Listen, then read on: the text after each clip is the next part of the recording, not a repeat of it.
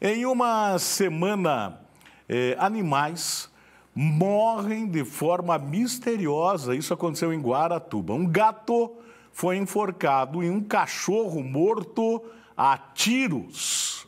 Veja aí. Aqui, ó. Tá vendo? Isso aqui, ó, enforcado. Isso daí, ó. Isso daí é uma praga. A cena revoltou moradores e entidades ligadas à proteção de animais na cidade de Guaratuba. Em uma semana, um gato e um cachorro foram alvos de maus tratos e mortos com crueldade na cidade. As duas situações foram registradas no bairro Pissarras, na Avenida Ivaí.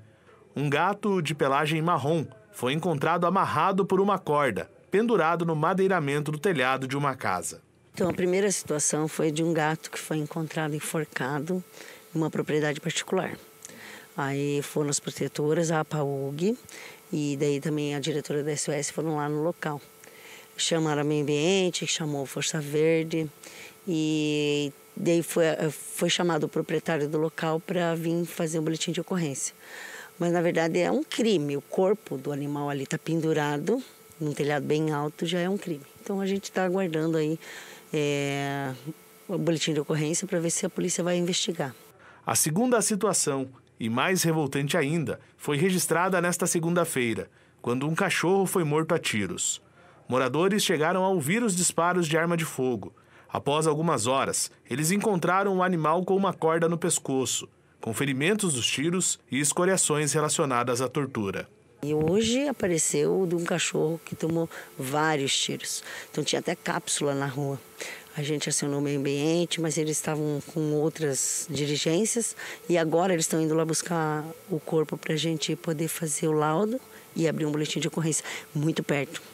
Então, assim, acho que a gente merece é, falar para a população, né? Que esse crime aí de matar um cachorro na rua não pode acontecer, né? De onde, de onde que tem arma para matar um animal? Vamos alertar que está perigoso. Os dois casos foram levados para a delegacia da Polícia Civil de Guaratuba e as situações registradas em boletim de ocorrência. O desejo da ONG é que a Polícia Civil identifique os autores, para que eles possam ser responsabilizados pela morte dos animais, e se os dois casos, por acontecerem na mesma rua, teriam ligação. População tem que entender que, que tem punição, né?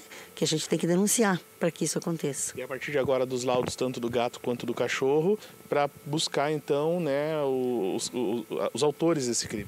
É, os autores ou mostrar que tem tem lei que não pode fazer. Gente, a gente, a gente muita coisa tem crimes de humanos que a gente não consegue elucidar. Eu não tenho a ilusão de que vai ser elucidado, mas eu quero que que seja comentado, que é um crime, é um animal, mas ele tem uma vida, tem toda uma história por trás disso, né?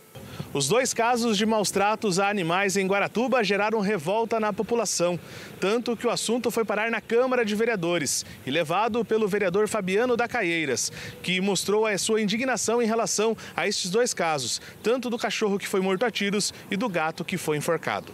Então, a minha proposta de estar levando essa temática para a tribuna é exatamente que a cidade saiba, que a cidade fique realmente indignada, para que ninguém mais, um ser humano, opte né, por, um, por tomar um tipo de decisão dessa, tirar a vida de um animal com esse total desrespeito. No ano de 2017, a Câmara de Vereadores aprovou uma lei de instituição de um Conselho de Proteção aos Animais porém ela ainda não avançou por parte do Poder Executivo. Tem uma lei aprovada para a instituição de um Conselho de Proteção Animal. Essa lei ela foi aprovada no ano 2017. É, pelo que a gente tem conhecimento, ela não foi instituída, esse conselho não foi instituído, então é nosso objetivo agora estar em contato com o prefeito Roberto para que de maneira extremamente rápida, célere e legal, esse conselho possa ser instituído, para que realmente tenhamos uma, ainda mais né, força para cobrada de quem de direito é a, o direito dos animais na nossa cidade.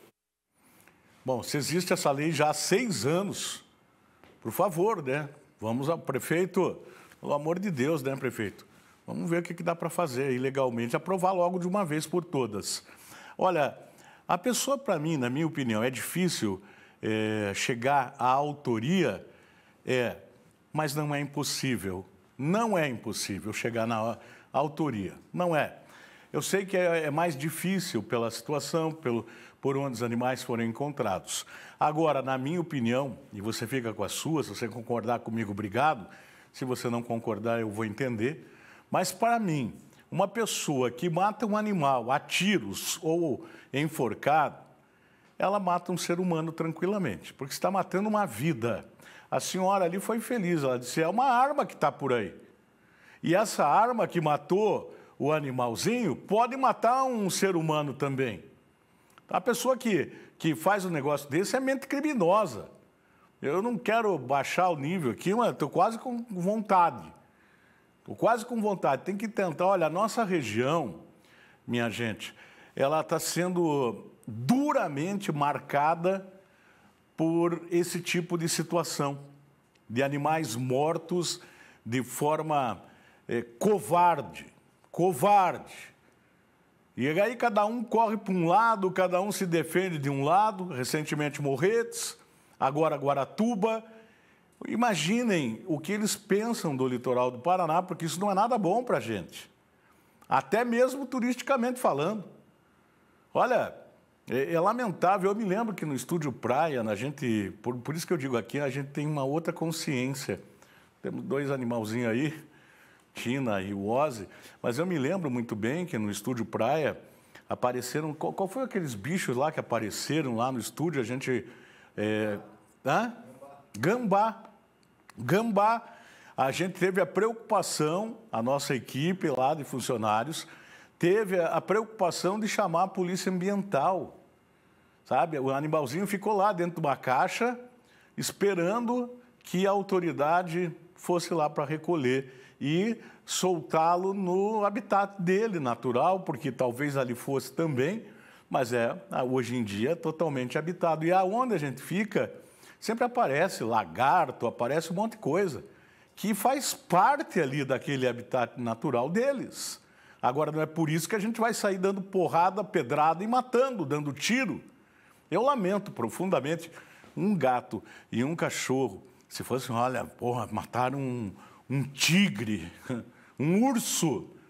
Por favor, né, minha gente? Vai ser covarde. Não sei se é um só, porque foi próximo onde aconteceu. Seja um só ou mais, para mim vocês não valem nada. Vocês são criminosos. Para mim é isso que vocês são. Espero que a polícia chegue até vocês. Muito